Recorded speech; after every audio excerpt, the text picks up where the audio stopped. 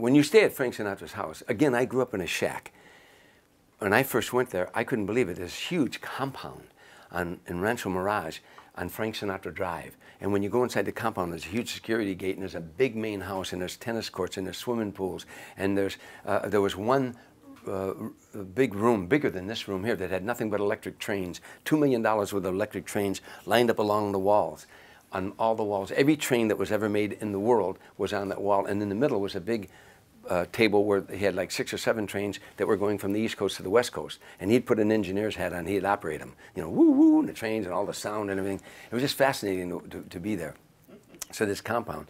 But along the outer perimeters of that compound were bungalows where his house guests stayed. They were called New York, New York, Strangers in the Night, Tender Trap, My Way, named after his songs.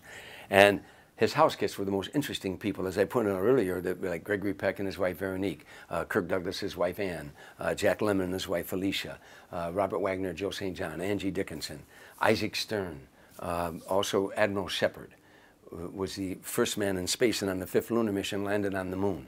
And, and I was, you know, a Navy man. I'm an enlisted man. I'm going to be around an admiral. He was in the bungalow next to me. We'd play golf together. I, I'm playing golf with an admiral, and I could say things like, shot, Al. Could never talk to an admiral like that when I was in. Yeah. So now, Admiral Shepard gave a, a, a, lecture one night where we were down there in the desert, and Frank and I went to the lecture. And a couple interesting things. As you know, on the moon, he, was, he hit a golf ball on the moon. And uh, so after the lecture, he asked Q&A, and a woman stood up. She said, uh, uh, Admiral Shepard, when you hit that golf ball on the moon, did they ever find it? And he said, they?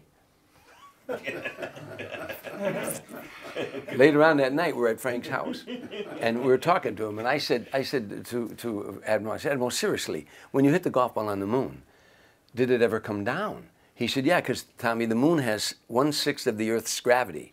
He said, so anything you can get up on the moon stays up six times longer. and Frank looked at me, and I looked at him, and we both at the same time said, fly me to the moon.